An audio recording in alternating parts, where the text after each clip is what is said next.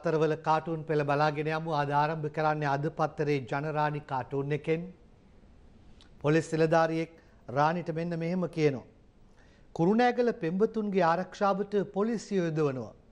රාණි අහනවා පෙම්බතුන්ට පොලිසියෙන් ආරක්ෂා වෙන්න කවුරු හරි යොදවන්න වෙයි නේද? ආන්නේ ගැන පොඩ්ඩක් හිතන්න හොඳද?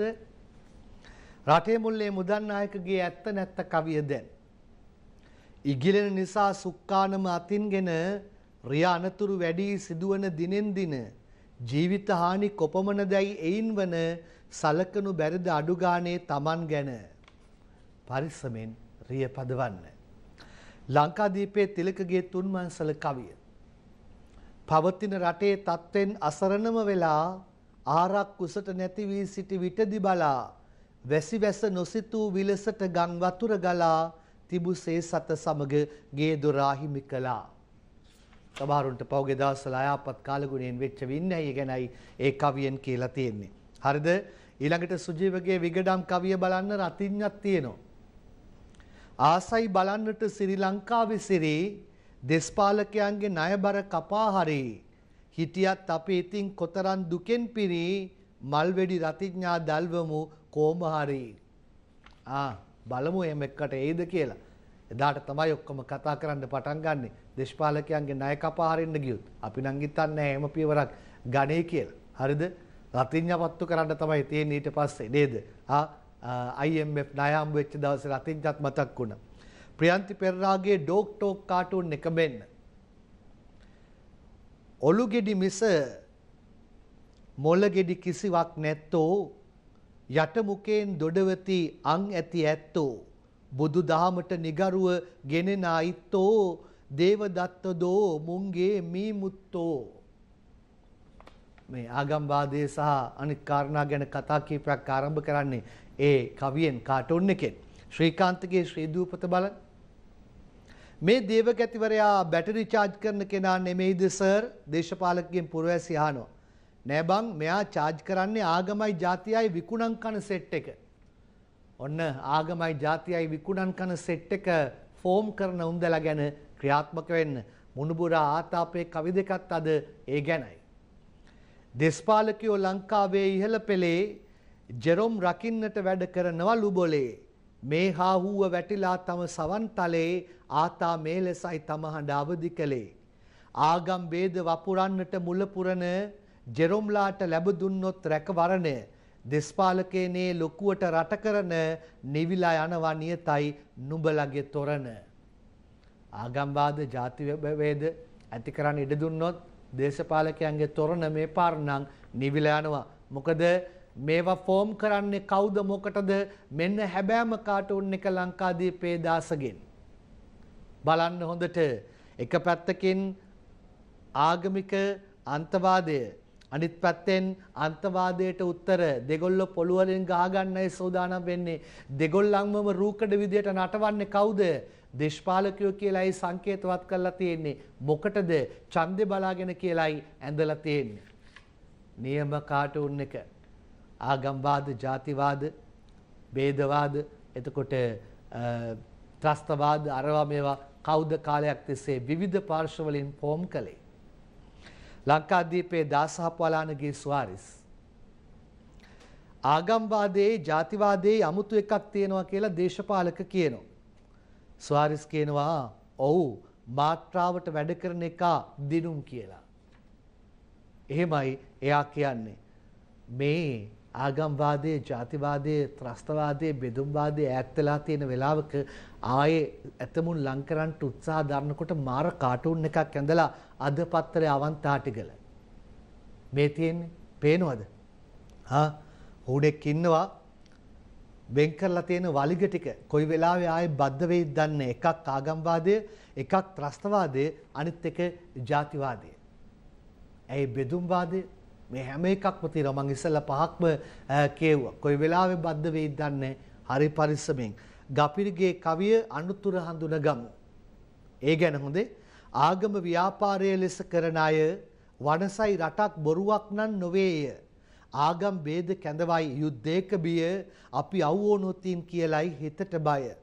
පන්සල් පල්ලි කොයිකෙත් ඔය වගේ අය ඉන්නවා කියනු ඇහුණා ඒ එසේමය NGO කුමන්ත්‍රණ මේ වගේමය අපි කල්පනාවෙන් හිටියොත් අගේමය. කල්පනාවෙන් ඉන්න. කාටවත් අවුෙන්න එපා. අපි ශ්‍රී ලාංකිකයන් අපි මිනිසුන් විදියට එකට එමු. තලන්ගේ අනේද කියන්නේ කවිය. ගෙන්වා වැරදි බෙහෙතක් ගහගෙන ගොට්ට හැත්තෑවගේ ඇස් කළ වරදට පොට්ට ජනපති සොෑමති ඇද දැමුවොත් දොට්ට සතුටක් ගෙනනු ඇත ඒ රටටම පට්ට. බලමු. ක්‍රියාමාර්ගයක් ගනීද කියලා. ඒ මොනොත් එය සතුටක් ගෙන දෙනලු ඇතිලු රටටම පට්ට. මේ අරුණේ හසන්ත විජේනායකගේ කාටුන් එක. ජනක රත්නායක මාධ්‍යන උපයෝගිතා කොමිසමේ ජනකව කවුද දෙයනේ දංගෙඩියට අරගෙන යන්නේ කාංචන නේද මේ අරගෙන යන්නේ පාර්ලිමේන්තුව කියන දංගෙඩිය පැත්තටයි ඔවුන් අරගෙන යන්නේ. මේ ජයරත්න වික්‍රමසිංහගේ ෆේක්බුක්. කාලකණ්ඩින්ට ආය අරගල කරන්න දෙන්නේ නැහැ කියලා ප්‍රසන්න කියන්නේ. අරගල ඇති වෙන තරමට රට කාලකන්ණි කලේ කවුද බං? කාලකන්ණි නැත්තම් හිඟාකන රටක් ඇති කලේ කවුද? හසන්ත විජේනායකගේ හුරේරා මෙන්න ජන ජීවිත නංවන්න සහය දෙන්න කියලා සජිත් IMF එකෙන් ඉල්ලලා. IMF එක සජිත්ගෙන් ඒ සහය ඉල්ලලා නැද්ද සර් කියලායි අනිත් පැත්තට පුරවැසි අහන්නේ. සියතට කහවත්තේ අනුර සුරංජිත් ඇඳපු කාටුන් එක මෙන්න. මෙන්න සජිත් මහත්තයා ජනාධිපතිකමට ඉල්ලනවලු ආච්චියේ එයා දිනයිද කියලා මුණු පුරා ආච්චිගෙන් අහනවා. ආච්චි කියනවා මං ටක්කෙටම කියන්නම්. තිස්ස අත්තනායක උන්නේ නැහැ කොයි පැත්තේද පුතේ? තිස්ස අත්තනායක ඉන්න පැත්ත කිව්වොත් ටක්කෙටම කියන්නල්ලු දිනන කෙනා. ආච්චිගේ දැනුම. මේ දිනමිනේ අංජනේන්ද්‍රජිත්ගේ කාටුන් එක. සමගි ජනබලවේගයේ පැත්තට ගිහිල්ලා කාන්දමක් අල්ලනවා රනිල් වික්‍රමසිංහ. ආ සෙට් එකක් ඇදිලා එන්න වගේ හදන්නේ. හැරිසන් උත්තාවනේ ප්‍රියන්ත කොඩිප්පිලිගේ ෆ්‍රයිඩේ බුලට් මෙන්න. පැන්නා හැරිසනුත් දැක්කද අනුරපුරේ ටික ටික පේනවා දැන් කට්ටියගේ හොරේ. තනතුරු ගන්න වගේ මේ උදවියගේ පොරේ අලියාගේ ඔඩොක්කුව දැන් සජබෙන් පිරේ.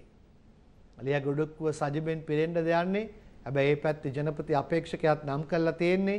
හැබැයි ජනාධිපති කිව්වා ඇමති මණ්ඩලය 30යි කියලා. ඒකෙන් එන්න හිටපු අය බ්‍රේක් ගායිද? ඕකයි තත්ත්වේ අනුරාධගේ කවිය මේ. කැබිනට් ඇමති දුර ටික 30ක් වන වගේ ජනාධිපතිතුමා ඇඟ වූයේ රංග රංග කරනම් ගහන්නට සිටි පිරිස කර දඟ හයියෙන් බ්‍රේක් ගැහුවා සජ බෙදොර ළඟ. දැන් බ්‍රේක් එක ගහයි දන්නේ. හොඳයි අද දවසත් එක්ක අපි පංකජ රුවින්දගේ සරදම් කාටුන් එක බලමු. කොටියා පරද්දලා අවුරුදු 14ක් වෙනවා. අපිට තවම ඔලුව උස්ස ගන්න බැරි වුණේ කාව පරද්දන්න බැරි වුණු හින්දාද සර්. ත්‍රස්තවාදයේ තුරන් කරපු වෙලාවේ මොනවා හිතුවද සුකිත මුදිත රටක් හදයි කියලා අවුරුදු 14කින් පස්සේ රටේ හැටි මේ මව්බිම MD වීරරත්නගේ මාර්සිපාල ෆොන්සේකා කියනවා රනිල්ට විතරයිලු එයාට සැලියුට් ගහන්න පුළුවන්. අහා සජිත්ට ගහලා ඉවරයිද?